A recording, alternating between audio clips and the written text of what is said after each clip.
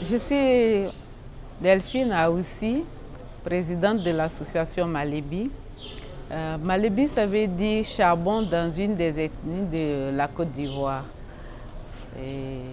Cette association est composée uniquement de femmes, de femmes qui gèrent une forêt classée d'une superficie de 4500 hectares qui se trouve à Dimbokro.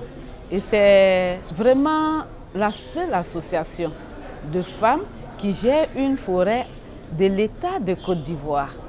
Et cette, euh, euh, cette forêt est située dans une zone un peu difficile parce qu'il fait très chaud dans cette zone. Il fait extrêmement chaud. C'était une zone forestière, mais maintenant on n'a plus de forêt là-bas. On n'a que la savane. Et nous sommes dit qu'il faut que nous prenions une forêt parce qu'à l'origine, nous étions des productrices de charbon de bois dans la forêt naturelle. Et dès qu'on a vu qu'on détruisait la, forêt naturelle, on s'est dit, mais qu'est-ce qu'il faut faire? Il faut changer de comportement. Il faut s'adapter. Donc, euh, on a appris maintenant à produire du charbon sans détruire la forêt naturelle.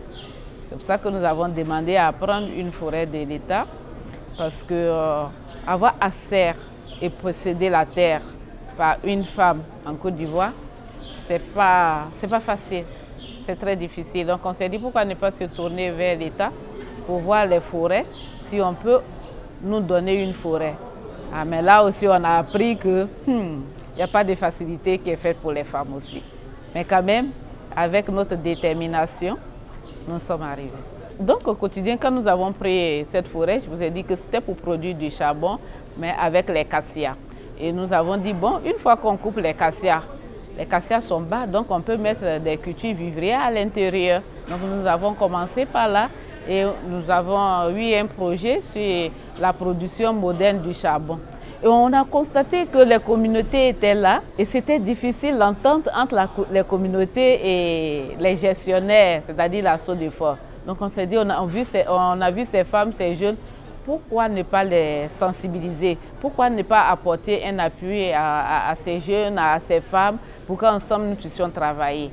C'est comme ça que nous avons commencé. Et en 2016, nous avons eu euh, la visite euh, de la Banque mondiale. Et quand le projet PIF a commencé, ils ont demandé à ce que nous encadrons les, communautés, que nous sensibilisons les femmes à travailler avec nous. Donc concrètement, quand nous arrivons sur le terrain, on nous donne, il y a déjà le, plan d'action qui est là, le PTBA, qui est dit ce que nous devons faire. Nous devons encadrer ces femmes, nous devons les former d'abord. Et celles qui sont riveraines, qui sont proches des forêts, qui veulent faire des plantations, qui veut planter soit des arbres ou qui veut mettre des cultures vivrières, nous les recensons et nous leur fournissons ces cultures vivrières. Nous donnons le matériel qui est financé par le projet. Donc c'est comme ça que nous travaillons. Donc tout ce qu'elles mettent dedans, comme manioc que vous avez vu, comme gombo, comme igname, tout ça c'est pour les communautés. Ça leur revient de droit. Voilà. Et ce qui reste, ce sont les arbres. Et plus tard, quand ces cassias seront grands, nous allons faire encore une convention pour utiliser ça avec les communautés. Voilà à peu près comment nous fonctionnons.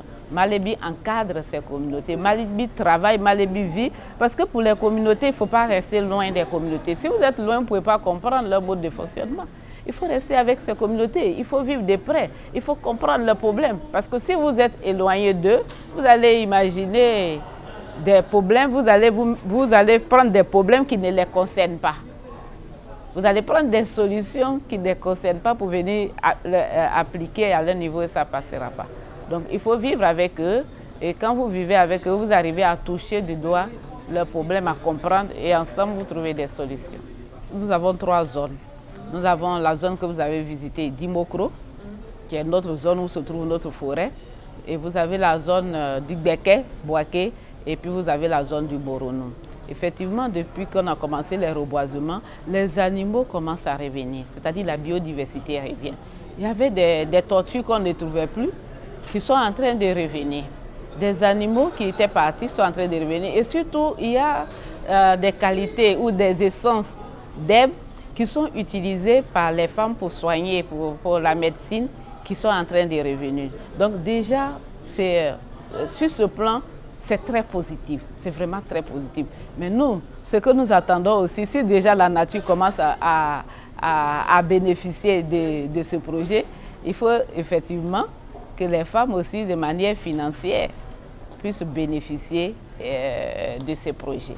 C'est notre souhait aussi parce qu'il faut que sur le plan santé, nous soyons bien, sur le plan matériel, nous soyons bien et sur le plan biodiversité, la forêt aussi soit bien. Le soutien que les femmes ont reçu, les communautés que nous encadrons, c'est déjà leur permettre de travailler dans les parcelles de reboisement. Parce que nous, nous sommes dans les forêts classées. Depuis agir dans les les forêts classées. Cette liberté de permettre aux communautés d'aller tranquillement dans les parcelles de reboisement. S'il n'y a pas de reboisement, les communautés ne peuvent pas partir là-bas. D'aller et d'y mettre leur culture vivrière, c'est vraiment une bonne opportunité. Cette aussi opportunité d'offrir les cultures euh, les semences aux communautés, c'est une bonne opportunité pour les communautés. Mais ça ne, évidemment, on aimerait encore avoir un peu, un peu plus, on aimerait avoir un peu, encore beaucoup, beaucoup d'autres choses parce que nos besoins sont énormes. Nous, les femmes, nous sommes partis du moins zéro. Nous sommes désavantagés parce que euh, nous n'avons pas les mêmes forces physiques que les hommes. Nous n'avons pas le même emploi du temps que les hommes. Au moment où le matin, nous sommes en train de laver les enfants ou bien voir qu'est-ce qu'on va manger, les hommes, eux, ils sont déjà partis. Donc, ils sont en avance sur nous. Or, l'heure, c'est de 7h à midi. Donc, si toi, tu, restes à la maison jusqu'à 10 avant d'arriver au champ, la monde ne va pas revenir en arrière. Euh, donc, pour cela, c'est que le temps que nous utilisons pour faire le ménage ou bien pour nous occuper de la famille, ce temps aussi, il faut qu'on regarde dans les projets et voir comment nous avantager. Aujourd'hui, s'il y a une réunion, que je suis femme, je ne dois pas me lever comme ça pour partir. Je dois réfléchir si je vais à la réunion, qui va s'occuper de la nourriture? Et je dois dire à mon mari, est-ce que je peux partir à la réunion? Parce que je suis la mère de famille. Je suis celle qui fait le repas. Je suis celle qui s'occupe du mari. Je dois faire, si le mari doit partir au champ qui va manger là-bas, il faut que je prévoie la nourriture. C'est ça la vie de la femme du milieu rural. Je dois demander à mon mari, je vais partir à ma réunion. Est-ce que tu acceptes? Il va te dire, euh, tu peux partir, hein, mais il faut que moi, ce dont j'ai besoin soit là. Il faut que mon repas soit là à temps. Il faut que ça, ça, ça soit là à temps. Donc, tenons compte de tout ça là pour que la femme soit vraiment heureuse. Grâce au CIF qui a financé le fonds d'investissement forestier, aujourd'hui, dans la zone de Boaké, dans la zone du Morono, dans la zone de Dimbokro, les communautés riveraines des forêts classées viennent librement mettre leur culture vivrière dans les forêts classées. Ça, ça n'existait pas. Aujourd'hui, si vous arrivez à Dimokro, quand on parle de forêt, les femmes savent ce que ça veut dire. Les femmes participent aux réunions. Parce que tu peux venir à une réunion, mais tu ne sais rien de la forêt. Qu'est-ce que tu vas venir dire? Mais grâce au PIF, les femmes, elles savent quels sont les écartements quand tu prends l'essence qu'on appelle le tech, quand tu plantes du cassia. Elles savent ça, elles peuvent parler. Mais tu ne sais rien du tout. Et on te dit, il faut aller à une réunion. Mais tu vas fermer ta bouche. Ou bien tu reviens plus bête parce que tout ce qu'ils ont dit là, tu ne comprends absolument rien. Donc le PIF a permis aux femmes et aux communautés riveraines des forêts classées de pouvoir s'entendre et de pouvoir mener ensemble la gestion. Mais il ne faut pas que ça s'arrête. Parce que quand on parle de foresterie, ce n'est pas les choses d'une année, deux ans ou trois ans ou cinq ans. C'est des choses, c'est des petits pas que nous faisons. Mais ces petits pas sont mieux que des zéro pas ou bien des pas en arrière. Donc le PIF a apporté et le PIF est positif pour permettre aux femmes de pouvoir parler des questions de forêt. Nos forêts sont effectivement dégradées. Et la zone de Dimokro, comme je l'ai dit là, c'est une zone presque devenue de savane. cette forêt que nous gérons fait 4500 hectares et c'est depuis 2011 que nous, gérons cette, cette, forêt. Il y a des îlots de, de forêt, mais la plupart du temps, tout est dégradé. Et c'est là-bas que nous essayons de faire, dans les zones dégradées, que nous faisons le reboisement. Parce qu'il faut faire revenir euh, la forêt et c'est important. C'est vraiment important de faire revenir la forêt en commençant par les forêts classées de notre pays. Donc, euh, euh, les forêts classées qui sont dégradées, on permet à certains particuliers ou à des structures qui veulent, qui ont les moyens de, de, faire des reboisements. Euh, je pense que pour lutter contre euh, les changements climatiques, on ne peut compter vraiment que sur les communautés. Et les communautés, la plus grande partie, ce sont les femmes.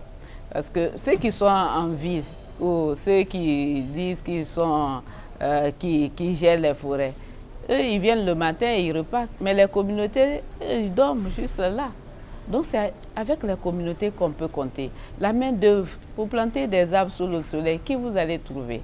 Vous n'allez pas prendre les personnes en ville pour aller planter. Pour l'instant, en Côte d'Ivoire, on n'utilise pas les robots pour planter des arbres. Donc c'est avec les communautés, c'est avec les communautés que tout doit se faire. Aujourd'hui, les communautés sont, sont, sont un peu fâchées parce qu'elles veillent sur les forêts, mais elles n'ont pas grand-chose. C'est sont ces communautés-là qui vont planter. La première main d'œuvre, les premiers gardiens de tout ce que nous sommes en train de faire pour faire revenir la, forêt, ce sont nos communautés. Donc il faut vraiment qu'on ait un autre regard de partenariat avec nos communautés. C'est vraiment important. Et surtout les femmes, d'avoir comment utiliser les femmes, comment travailler avec les, les, femmes pour qu'elles aient le temps, pour qu'elles ne se sentent pas encore euh, marginalisées, parce qu'elles doivent s'occuper de la maison, elles doivent faire plein de choses et elles vont aller dans la forêt. Alors qu'est-ce qu'on fait pour alléger leur contribution au niveau de la forêt Qu'est-ce qu'on fait pour améliorer leur contribution ou ce qu'elles vont donner au niveau de la forêt? Il faut qu'on y réfléchisse sérieusement. Il y a quelques années de cela, en, 2016, j'ai vécu une expérience où nous sommes arrivés à Dimokro pour planter des arbres. Et des femmes passaient, elles nous ont vus, elles se sont arrêtées, elles nous ont demandé. Donc les femmes peuvent planter des arbres. Elles nous ont posé cette question. On a dit oui, les femmes peuvent planter des arbres. Et vous-même venez. Et elles sont venues. Et elles ont planté des arbres. Et quand ces arbres ont commencé par grandir, et que chaque fois elles passent, elles font un sourire, elles sont fières. Elles disent, c'est nous les femmes qui avons planter cela. Et cette expérience, à chaque fois que j'ai réfléchi à ça, j'ai dit, donnons, donnons l'occasion aux femmes de prouver ce qu'elles sont capables de faire. Donnons l'occasion aux femmes, donnons les moyens aux femmes de faire ce qu'elles savent faire. Parce qu'elles ont envie de faire certaines choses. Mais deux fois, les coutumes font que elles n'y arrivent pas. Alors aidons ces femmes-là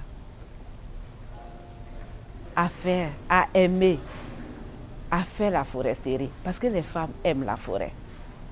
Et je pense que avec ces femmes, nous allons pouvoir faire revenir la forêt en Côte d'Ivoire.